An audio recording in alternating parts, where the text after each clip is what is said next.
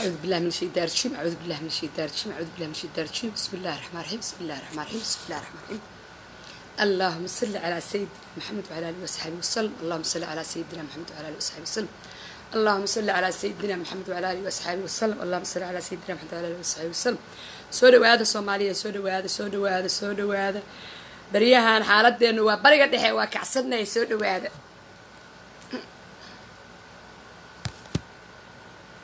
soo dhawaada soo dhawaada soomaaliyay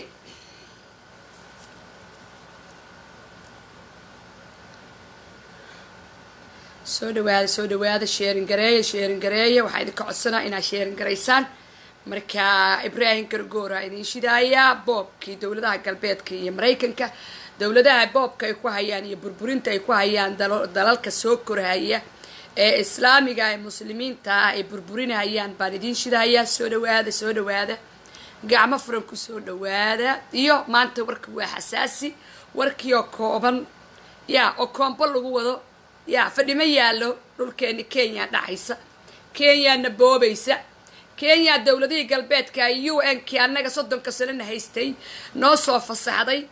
Dagaal fii soomaali dhulkeeda kenya dhacaysa nagu soo fasaxday marka wixii dhiig lahoo ka caweeye wixii dhiig lahoo ka caweeye marka soo dhawaada fadhi ma jiro fadhi ma jiro fadhi ma jiro. Soomaali cadowgeedii maanta ay baratay. Soomaali cadowgeedii maanta banaanka u soo baxay. Soomaali cadowgeedii maanta banaanka u soo istaagay. Marka waxaan idin leeyahay soo dhawaada cadowga soomaaliya ha burburo. Cadowga soomaaliya ilaahay ha jabiyo cadowga soomaaliya ilaahay ha isku diro cadowga soomaaliya soomaali meeshay dhigaan ilaahay inuu dhigo gacantii sarraysa inay soomaali noqoto ayaana looga baryayaa. Sheerin gareeya. Sheerin gareeya maanta war cusub baan idiin wadaa. Arrimo xasaasiyaan idinla qaybsanahaya anoo u hadlahaya afhayeenkana u ah shacbiyadda soomaaliyeed ee mayeeraanka ah ee masaakiimiinta ah ee lagu tumanahayo ee hantidoodii iyo xoolahoodii kukaay la siinahayo kenyaati la siinahayo shacbiyaddii soomaalina ku baahan yihiin ayaan u hadlahaya shacbiyadayda masaakiimiinta oo mayeeraanka ah afkoodaan ku hadlahaya anaa wakiilka ah anaa u hadlahaya anaa miidiyaha u taagan wixii dhiig lahow ka cabaan idin leeyahay soomaaliyey. Sheerin gareeya waxa la yidhaahda qabiil ma jirto. No qabiil maanta soomaali waa mid kukuuyaa ku dhacaysa. Dhulka soomaaliya khayraadkeeda kukuuyaa dhacaysa. No qabiil maanta qabiil soomaali meeshii ay ku gacmaha isku qabsan lahayd weeye maanta soomaali meeshii ay ku heshiin lahayd weeye maanta soomaali meeshii ay isku garab istaagi lahayd weeye maanta yaa soomaaliyey ayay taagan tahay. Yaa soomaali ay taagan tahay. No qabiil no qabiil. Dhulkaagii dalkaagii ciiddaadii baddaadii khayraadkaagii baa gaalo kuu soo adeegsatay. Kukuuyo kenyaati kuu soo adeegsatay.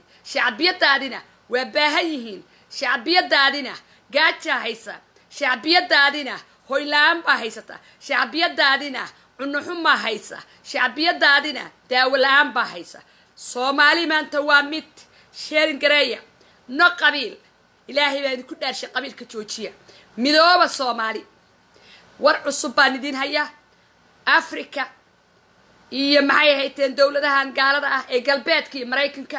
Waxyaalaha lagu heshiiyey ee dalka soomaaliya lagula heshiiyey ee dalka soomaaliya meesha lala damacsan yahay akhbaaro cusub baan idinla qaybsanahayaay. Iyo jaajuusiinta magaca soomaali kula ah ee waraaqaha u qorahaya maraykanka ee dowladaha galbeedka u qorhaya ee lahaystayaasha ah ee slaveriska ah ee gumaysta faransiiska ama gaalada gumaystaan ayaan idinla qaybsanayaay soo dhawaada gacmo furan ku soo dhawaada waa walaashin idin cabdulaahi farmaaje oo idin leh gacmo furan ku soo dhawaada ku soo dhawaada qaybiya dhagaysta. Ibraahim karagoora idin dhegaysanaa waa wax adigaan ku jirno arrintaan ku jirno ka hadlahaya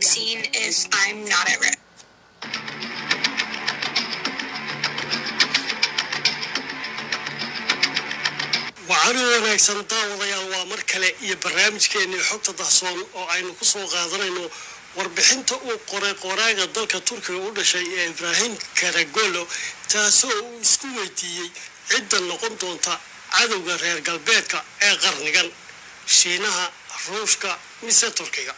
Ku soo dhowaada barnaamijka.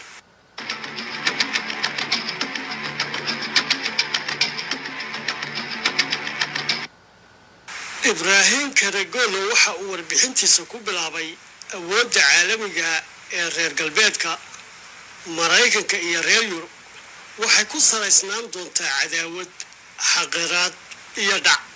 Tani waxay soo socotay dhowr qarni wayna sii ahaan doontaa qarniga koob iyo labaatanaad iyadoo xitaa istaraatiijiyadda soo saarista cadaawaddu ay ku filnaan doonto saadaalinta tallaabooyinka xiga ee maraykanka ee maraykanka iyo yurub ay qaadi doonaan reer galbeedku waxay samaysteen buule cadowgooda markay ugu yeedheen dadka adduunka intiisa kale berberiyiin bilowgii xilligii gumaystaha iyadoo dadkii asalka u ahaa maraykanka iyo koonfur bari aasiya ay ku rogeen magaca ilbaxnimada si ay u bilaabaan inay dhisaan awood ay uga sii gudbaan caalamka intiisa kale.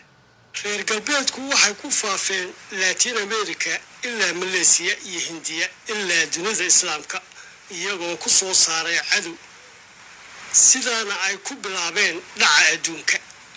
Taariikhdani waa mid dhiig badan oo argagax leh oo ay ka buuxaan bogag xanuun iyo ceeb aan bani aadamku hore u arag ay ka mid tahay. Reer galbeedku sidaasoo kale ayay ka sameeyeen oo ku sameeyeen andalus iyo cusmaaniyiintii markay islaamka iyo muslimiinta ka dhigteen cadowgoodii oo ay iska hor keeneen. Waxay iska horimaad